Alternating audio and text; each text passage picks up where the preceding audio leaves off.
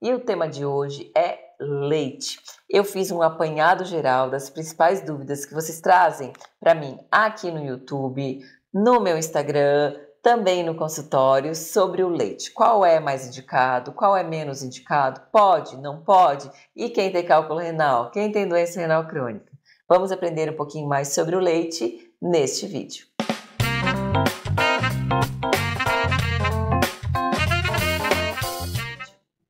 Eu sou Tatiana Krieger, nutricionista em nefrologia. Seja bem-vindo de volta ao meu canal.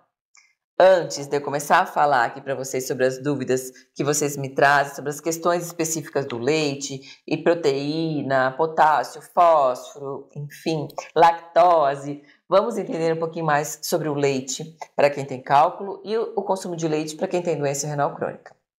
Primeiro, para quem tem cálculo renal. Afinal, leite é proibido ou permitido? Leite é permitido. Então, se você já leu em algum lugar ou se já recebeu a informação de que não poderia mais consumir leite nem seus derivados, é, por ter cálculo renal, você recebeu a informação errada. Né? Os estudos nos mostram que é, o consumo de lácteos pode proteger a formação de novos cálculos, especialmente pelo fato do leite conter cálcio. E nós sabemos que o consumo adequado de cálcio protege contra a formação de cálculos. E leite e doença renal crônica? Pode? Pode sim. O leite pode ser consumido para quem tem doença renal crônica, não importa o tratamento que faça, não importa o estágio da doença, então pode estar em conservador, em diálise ou transplantado, o leite pode ser consumido. Né? Se você gosta de consumir, gosta de ter o leite no seu dia a dia, você pode consumir o leite e seus derivados. Não tem problema nenhum. Tem questões que a gente precisa avaliar em relação à quantidade, né, em relações específicas de cada caso que nós vamos conversar aqui ao longo desse vídeo, mas é, ele não precisa ser excluído da sua alimentação. E agora vamos começar então com as principais dúvidas. E essa primeira que eu trouxe aqui é uma dúvida ó, antiga, desde que eu me informei, eu respondo sobre essa questão.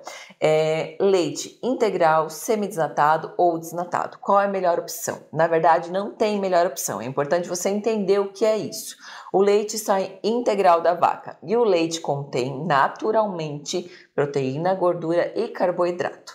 É, o leite integral, então, que a indústria vende como integral, é aquele leite que, que não foi mexido, que saiu, assim como saiu da vaca, vai ser é, comercializado, então, com a quantidade é, normal de gordura, carboidrato e proteína. Um leite semi-desnatado é aquele leite que a indústria retirou um pouquinho da gordura, então ele ficou parcialmente com a quantidade de gordura é, natural dele. Então foi removido um pouquinho, é o leite semi-desnatado. Quando se remove quase quase a gordura na sua totalidade, então se retira praticamente toda a gordura do leite, é o leite desnatado.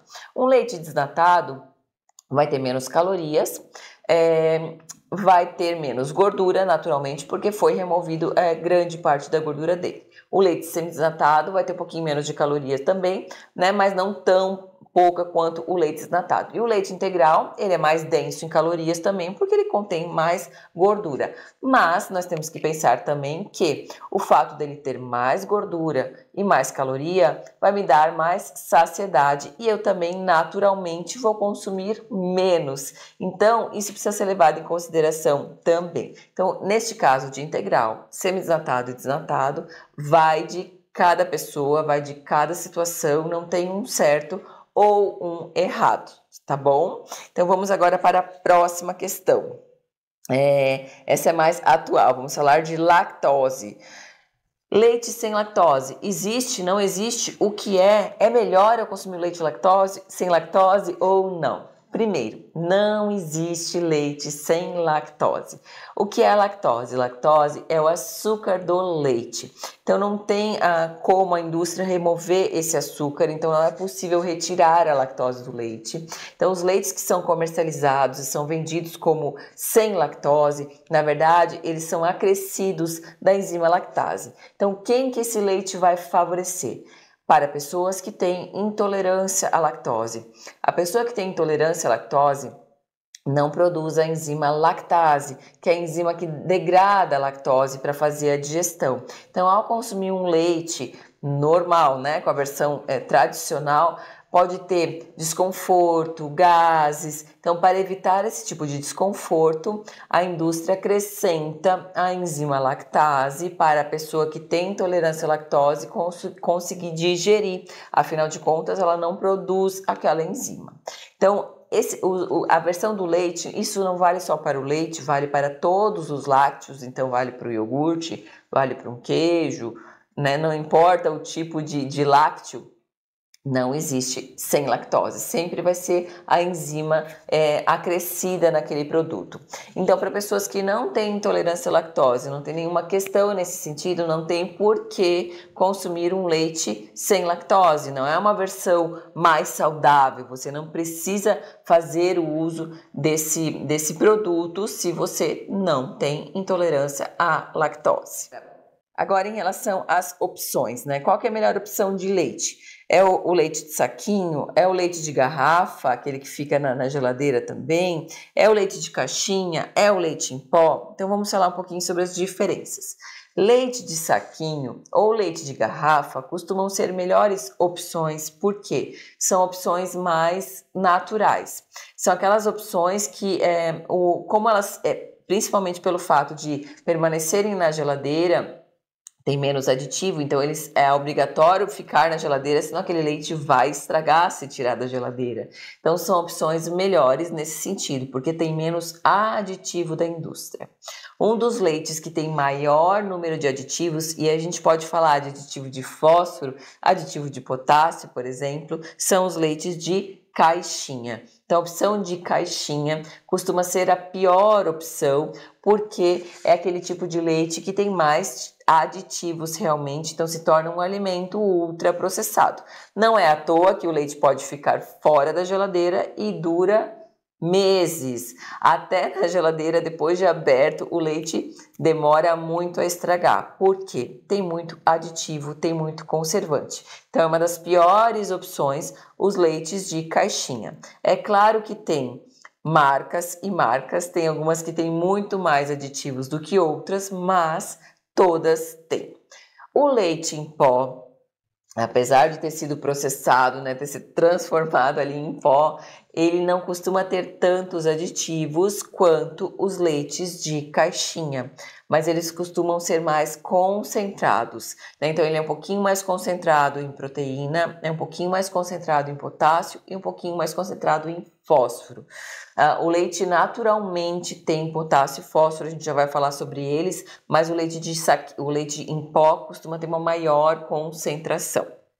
Vamos falar então de potássio e de fósforo. Realmente, um leite concentra bastante potássio e bastante fósforo. 100 ml de leite tem mais ou menos uns 90 miligramas de, de fósforo e por volta de 100 miligramas de potássio. O leite em pó, como eu falei antes, um pouquinho mais do que isso. É, para pessoas que têm, ah, que estão preocupadas somente com essa questão de potássio e de fósforo, trocar o leite de vaca por um leite vegetal vai, ser, é, uma, vai ter uma concentração parecida. Então, o leite de coco também vai ter especialmente potássio, não tanto fósforo. Um leite de castanhas, um leite de, de aveia, um leite de amêndoas, vai ter também nutrientes como potássio e fósforo, mas uma concentração um pouquinho menor.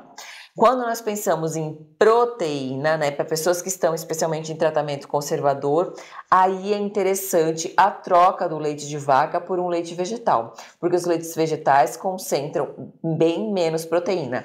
Vão ter uma quantidade parecida de potássio e de fósforo, um pouquinho menos, mas assim, não, não, tanta, não tem tanta diferença, mas principalmente em relação à proteína, a concentração vai diminuir muito. Ó, só para vocês terem uma ideia em relação à quantidade, eu separei aqui, ó, 100 ml de leite de vaca tem por volta de 3 gramas de proteína. Então, se eu for comparar com leite de coco, o leite de coco vai ter um, né, um leite de castanha vai ter menos do que um, um grama de proteína. Então, tem uma menor concentração os leites vegetais do que o leite de vaca em si. Então, essas são as principais dúvidas que eu, que eu recebo sobre o consumo de leite. De novo, leite não é proibido. Cuidado com exageros, né? Caso você goste bastante de consumir, pode manter o seu consumo ou num cafezinho com leite, seja numa receita, enfim, desde que você não faça em excesso, tá tudo bem, você pode manter o seu consumo. Escolha qual é a melhor opção para você diante do que você aprendeu aqui neste vídeo.